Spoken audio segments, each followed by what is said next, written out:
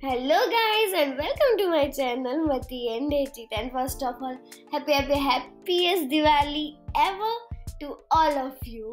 And as you all know today we are going to make some Diwali DIYs and before that make sure you like share and subscribe to my channel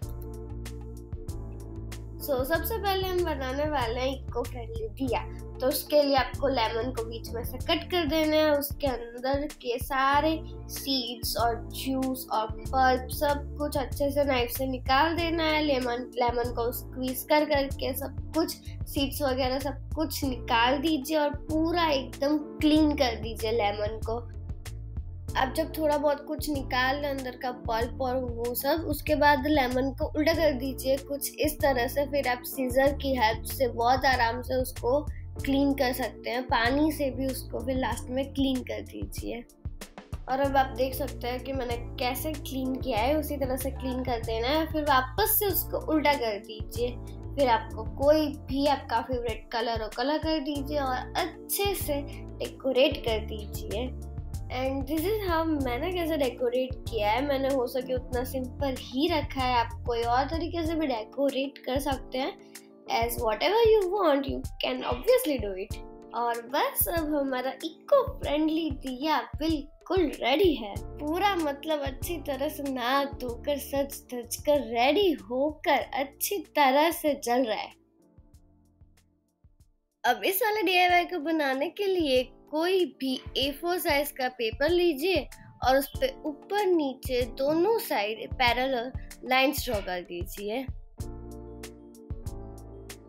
अब इस वाले D को बनाने के लिए कोई भी A four size का पेपर लीजिए और उस पर ऊपर नीचे दोनों साइड पैरेलल लाइंस ड्रॉ कर दीजिए। बीच में भी अब लाइंस ड्रॉ करना स्टार्ट कर दीजिए कुछ इस तरह से। लेकिन ये वाली जो लाइन्स आप बना रहे हैं, वो बहुत ही नज़दीक नज़दीक बनानी है।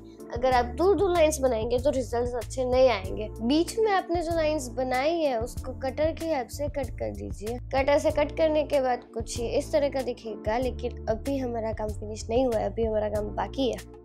अब हम इसे ग्लू की हेल्प से कुछ इस तरीके से स्टिक कर देंगे।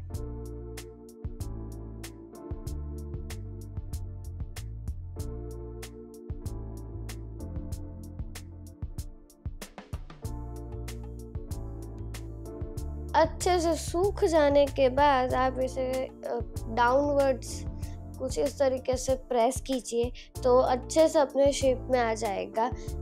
अब हमको तो भाई सब कुछ डेकोरेट करना बहुत अच्छा लगता है तो हम इसे भी डेकोरेट करेंगे, है कि नहीं? तो इसको डेकोरेट करने के लिए मैंने कुछ थ्रेड का यूज़ किया है और कुछ डिज़ाइंस ड्रॉ करूँगी मैं इस पर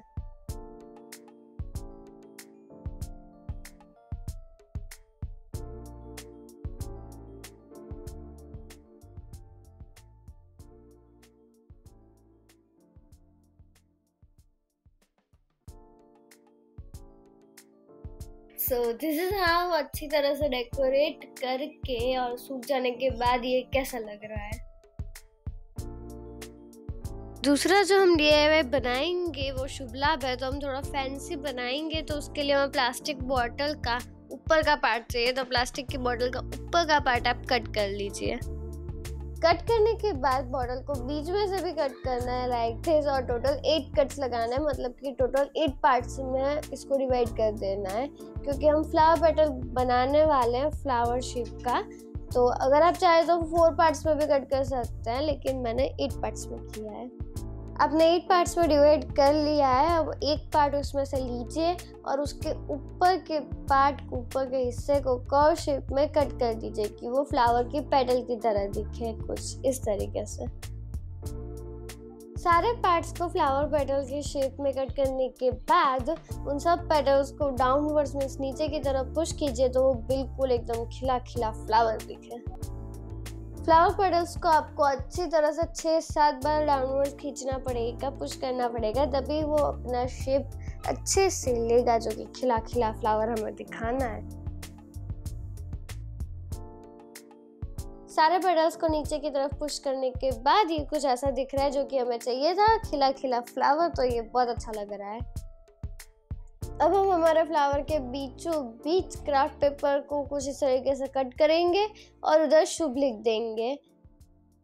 मैंने इस फ्लावर के ऊपर शुभ भी लिख दिया और अच्छे से डेकोरेट भी कर दिया है स्टोन से और एक्रेलिक कलर से।